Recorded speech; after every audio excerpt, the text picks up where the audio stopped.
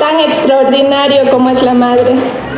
Con unas pocas palabras quisiera llegar a cada corazón, atreviéndome a decir, Madre es fuente insaciable de confianza y sabiduría. Su amor no conoce límites ni dificultades cuando se trata de los suyos. Su cuidado nos hace creer en el buen ser de un Cristo que se refleja en su mirada. Muy bien, un fuerte aplauso para la madre símbolo. La señora Carmita Gómez, representante del barrio Cachiloma. Ella resultó electa madre símbolo a través de este método que habíamos manifestado. Quiero reiterar mi agradecimiento, queridas mamás, queridas reinas. Siempre reinas ustedes serán en sus comunidades, en sus familias.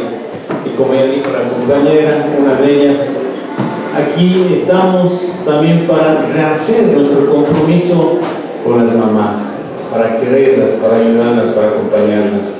De verdad, a veces es duro cuando todos aspiramos a tener la representación, sin embargo el amor, la solidaridad nos debe hacer que siempre alguien, un compañero, un hermano, un hermano, tendrá que representar.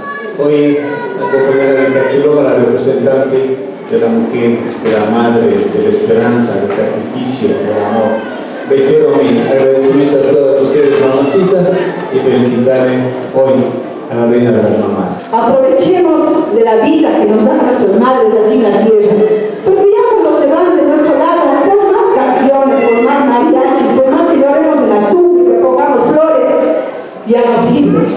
Eso se fueron.